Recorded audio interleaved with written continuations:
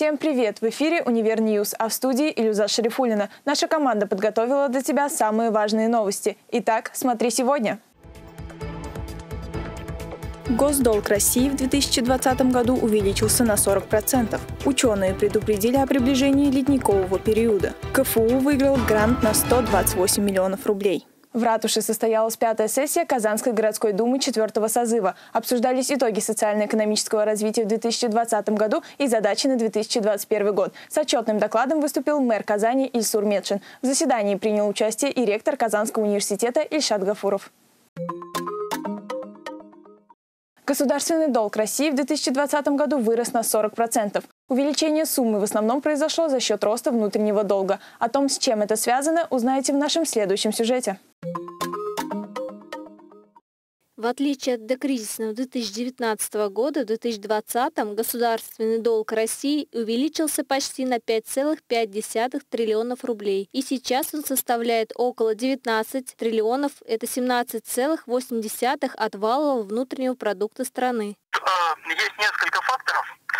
А, первый фактор – это, конечно, пандемия, поскольку а, в период остановки многих сфер бизнеса государство не досчиталось большого объема налоговых доходов и при этом было вынуждено финансировать очень много чрезвычайных а, расходов. Таким образом, а, возникла необходимость дефицит, э, финансирования дефицита бюджета и, соответственно, в заимствованиях. В первую очередь, э, это заимствование на внутреннем рынке, то есть э, внутренний долг. Второй немаловажный фактор – это девальвация рубля. Напомним, что 9 марта 2020 года произошел обвал цен на нефть, что непосредственно привело к обесцениванию. Э, за э, год рубль обесценился примерно на 20%. Соответственно, э, внешний долг, то есть долг, номинированный в иностранных валютах, пересчете на рубли автоматически увеличился на 20%, что тоже весьма существенно э, повлияло на такой вот э, результат. Ранее 3 февраля директор Департамента финансовой стабильности Центробанка Елизавета Данилова отметила, что наращивание госдолга России во время пандемии в 2020 году не принесет проблем для экономики. Она пояснила, что на поддержку российской экономики власти выделили из бюджета около 9% внутреннего валового продукта. Елизавета Никитина, Универ News. На заседании научного совета по проблемам воспитания подрастающего поколения при отделении философии образования и теоретической педагогики Российской академии образования было принято решение о включении в состав совета основателя научной школы гуманистическая парадигма воспитания и обучения, профессора Института психологии и образования Казанского университета, заведующей кафедрой педагогики Розы Валеевой противовес сторонникам теории глобального потепления академик Российской академии наук Геннадий Матишев сделал вывод о том, что человечество, наоборот, ждет малый ледниковый период. Так ли это на самом деле, рассказывает эксперт Казанского университета.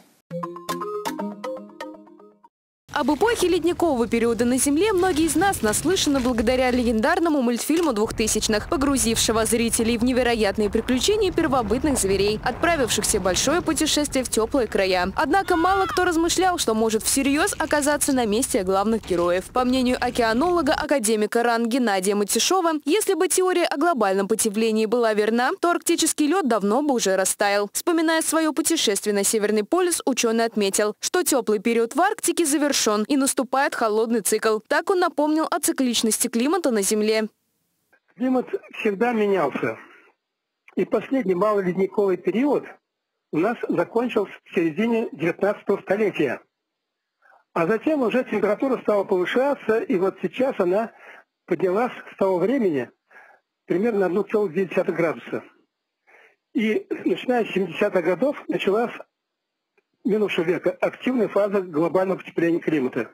На сегодняшний день существует множество разных точек зрения касаемо причин изменения климата. Однако в целом их можно разделить на две основные группы. Антропогенные, связанные с деятельностью человека, и естественные, то есть природные. К последней группе и относится точка зрения Геннадия Матишова.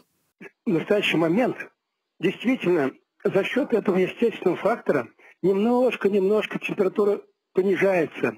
Почему она понижается? Потому что существует так называемая э, теория Миланковича, согласно которой изменение параметров земной орбиты приводит к тому, что у нас перераспределяется солнечная энергия на планете.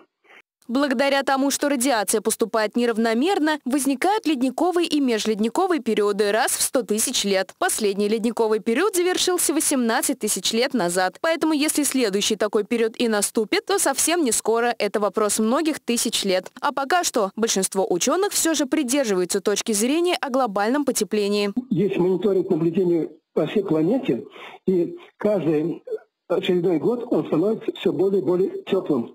И тенденция повышения температуры, она является положительной. Ну и кроме того, много очень природных факторов. Океан, уровень океана постоянно повышается, ледники в горах тоже тают.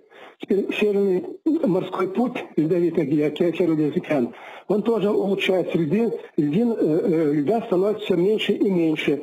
То есть очень много таких признаков, доказательств, последствий того, что действительно климат меняется, меняется в сторону потепления. Диана Желенкова, Универ News.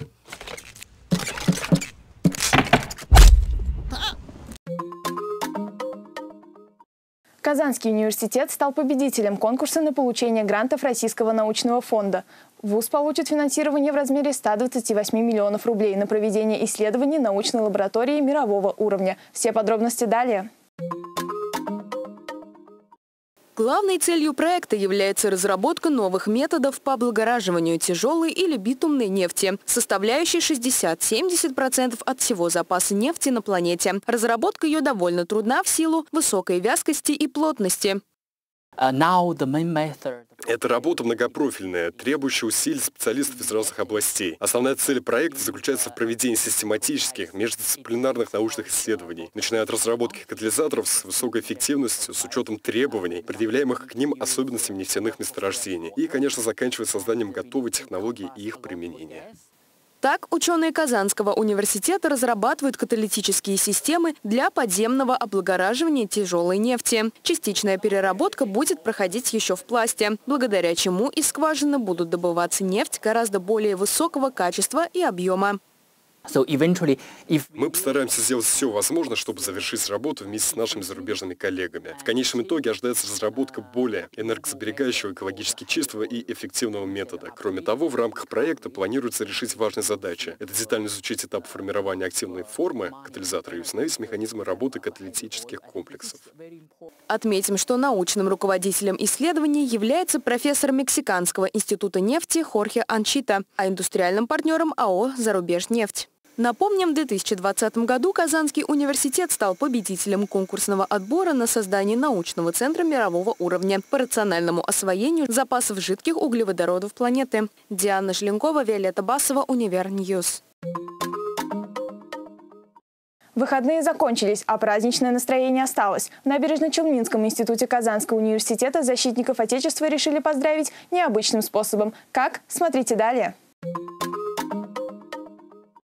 Что преподнести однокурсникам? Шампунь или носки? Как известно, лучший подарок, сделанный своими руками. Студенты подготовили видеоролик, где забрали поздравления от прекрасной половины института, а также выяснили, каким видит девушки настоящего мужчину. Мужчина – это тот, кто тебя любит, оберегает, который заботится о тебе. Он хозяйственный, он любит нас, любит семью. Кто любит свою родину, уважает ее и ценит. Не обошлось и без теплых пожеланий в адрес молодых людей.